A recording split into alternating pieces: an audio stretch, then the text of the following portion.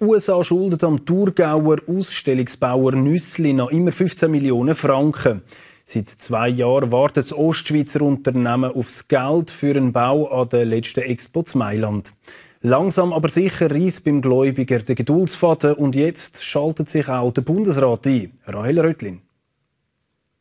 Es hat alles so schön angefangen für die Firma Nüssli. Ein 15 Millionen Auftrag direkt aus den USA für den Pavillon an der Expo 2015 in Mailand. Inzwischen ist aus dem Traumauftrag aber ein Albtraum geworden. Die Firma Nüssli wartet seit zwei Jahren auf die versprochenen 15,1 Millionen Franken. Das sind mehr als 10 Prozent vom Jahresumsatz.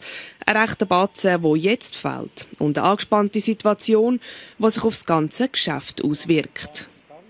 Ja, wir sind schon näher dran, dass äh, der Geduldsfaden reißt. Aber das dürfen wir uns ja nicht leisten, weil äh, sonst äh, verlieren wir die Gelder in den USA.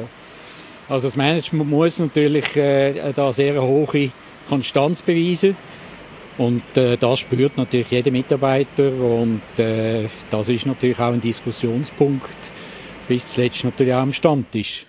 Inzwischen hat sich der Bundesrat höchst persönlich eingeschaltet. Vor zwei Wochen zitierte Johann Schneider-Ammann die amerikanische Botschaft in sein Büro und fordert die Schulden ein. Es sei aber nicht außergewöhnlich, dass der Bundesrat sich für schweizerische Unternehmen direkt einsetzt, heisst es beim Büro von Johann Schneider-Ammann.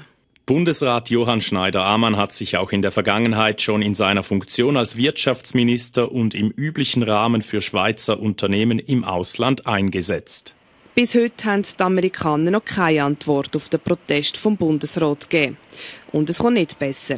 Die Firma, die den Bau des Pavillon in Auftrag gegeben hat, ist seit dem Sommer bankrott. Bei der Firma Nüssli bleibt also nur noch abzuwarten. Also zuerst einmal äh, müssen jetzt natürlich die Briefe beantwortet werden vom äh, Bundesrat und äh, auch unseren eigenen von Nüssli.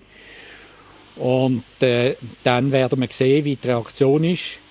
Und es sind geplant bereits wieder Besuche in den USA im September und im Oktober, äh, wo wir das weiter vertiefen werden. Ob die rund 15 Millionen Franken den Weg ins Thurgau je wieder findet, die Firma Nösli bleibt trotz langwierigen administrativen Weg optimistisch. So viel von den News für den Moment. Da geht es jetzt weiter mit 60 Minuten und auch heute sind wir auf dem Campus der Uni unterwegs, Natascha.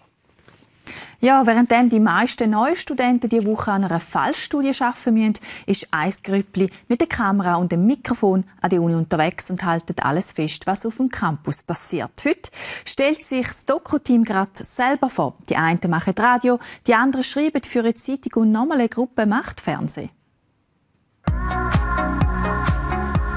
Ja, hier die einzigartige Möglichkeit, hinter Kulissen zu schauen vom ganzen TV. Und darum habe ich mich hier auch beworben, wo ich habe die Möglichkeit, vor der Kamera zu stehen, moderieren, gleichzeitig auch hinter der Kamera. Und wir werden von unseren Tutoren und von unserem Experten super beraten. Bevor wir aber hinter die Kulissen vom Doku-Team schauen, schauen wir zuerst auf den Wetterbericht der nächsten Tage und hoffen, dass der Petrus aufs Wochenende ein bisschen lieb ist zu uns. Die Wetteraussichten mit dem Rettovögeli gerade im Anschluss in 60 Minuten. Bis grad.